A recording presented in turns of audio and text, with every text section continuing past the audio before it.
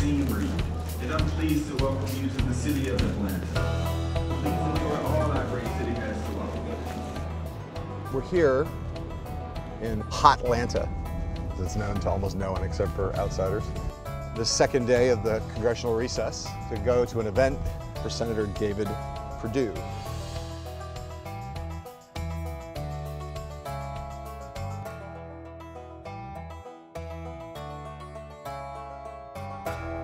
Perdue is going to be having a $50 per person lunch with business owners, but what he's not doing is holding town hall meetings, and he hasn't done them for quite some time. And this has now become a point of controversy here. This group has uh, been putting up these billboards. The billboards say, Have you seen him? MissingDavidPerdue.com. And Perdue's kind of dug in on this. He's like, I'm not going to meet with these people.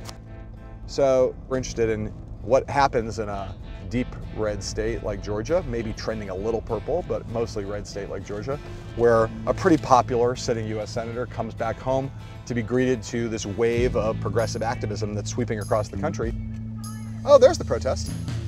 Twelve weeks we have been asking for a town hall meeting.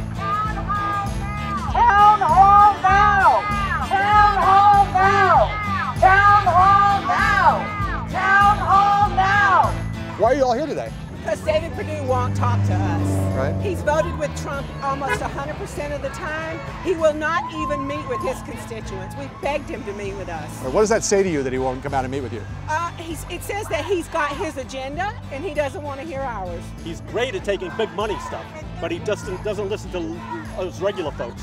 Perdue said that's not his style.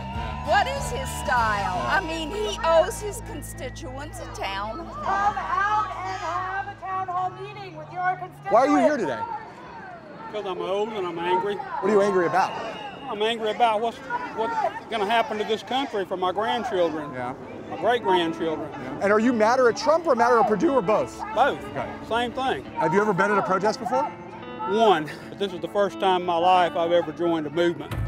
So you're one of the organizers of this thing, right? Yes, and before 12 weeks ago, I was not what I would call an activist. Right. It just kind of all of a sudden. Well, tell me about that. I was uh, concerned, and then after the inauguration, I was more concerned. It just kind of was hitting me, and I set up a rally at Senator Perdue's office, and I thought 10 people would go up there with me, and there were 147 people that day. Wow. And we've been doing it ever since.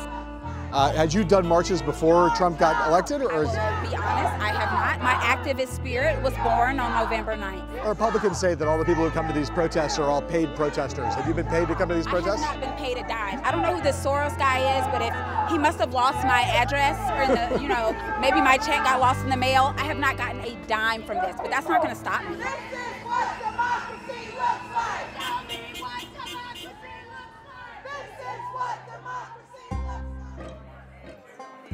Uh, the, the government did such a good job with the VA and the post office that I was concerned with what they were going to do with health care. Some crowds I get a little bigger after that, but you know, I get it. I get it. I get it.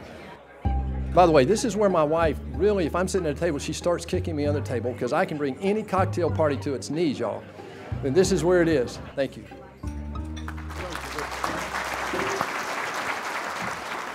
Senator Perdue, you talked about a representative democracy and it's important to listen, but sources tell us that your camp encouraged your supporters to buy tables so that you would face a friendly, not a hostile crowd. Every week in our office here in Atlanta, we have people who really don't agree with us come in and give us their input. We're doing a good job of listening right Line of social justice says that you didn't meet in a town hall.